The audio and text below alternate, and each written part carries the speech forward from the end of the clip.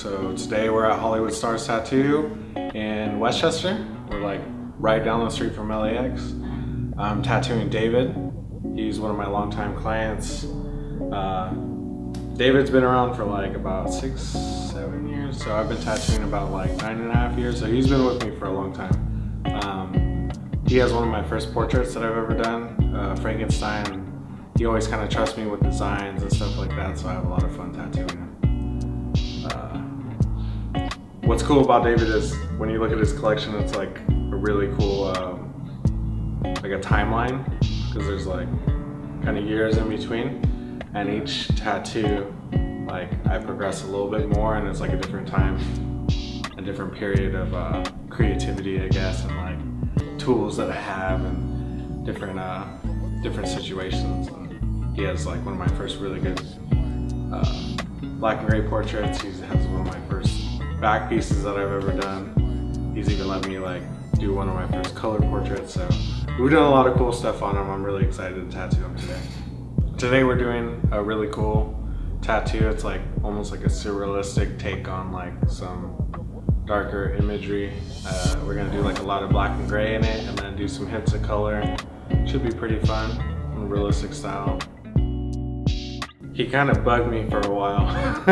like every time I would tattoo him or we'd see each other, he'd say like, hey, you know, bring up the back piece, bring up, and it was a really cool idea, but every time I kind of didn't, I wasn't sure of myself, so I didn't know whether or not I wanted, like what I wanted to do. Anytime I drew something up, I was like, not too fond of it, but I knew it was such a big project that I was, I needed it to be like, you know, this, this masterpiece, and then finally I just got like, a little spark or like I don't know what the heck it was I don't even remember but it was pretty much how it went how he said it's just like I got like hungry at some point and I said I'm gonna do this back piece and I just committed to it. I texted him he said he was down so like that week we put together like a really cool uh, comp. So it was just like a first pass of kind of how it would look. And uh, I, I used a lot of Photoshop so like a lot of the stuff in there is from photographs, but I put together probably like 40 different photographs into like one image. For the back piece, it took about nine sessions, somewhere around 30-ish hours. Um, we did it over the course of like three months. So he was in, in some pain. It was like week after week. Uh, we did a session, I think the longest we went without doing a session was like two weeks maybe.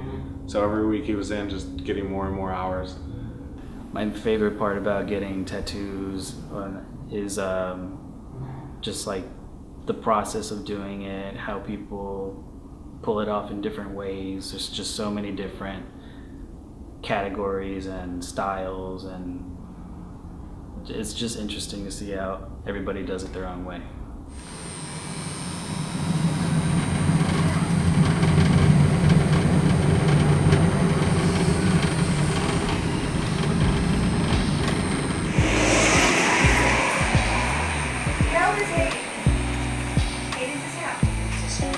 My most favorite was uh, the Frankenstein piece that I got from him because I had wanted it since I first saw the Frankenstein movie when I was like 15, 16. And, um, and so I always wanted it on my forearm because um, I knew I wanted it for a long time. So the fact that he killed it the first time, like, and it automatically became my favorite piece.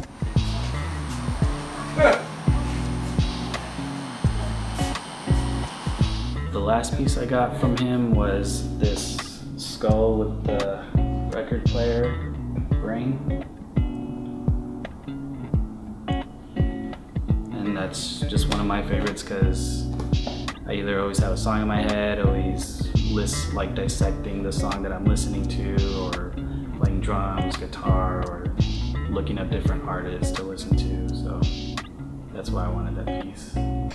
The piece I'm getting today doesn't really mean anything, but I saw, uh, had an idea of what I had, gave Joseph the ideas with my little tweaks that I had added, and I knew he would kill it and like understand what I was talking about. So I just shot him the ideas and he went with it.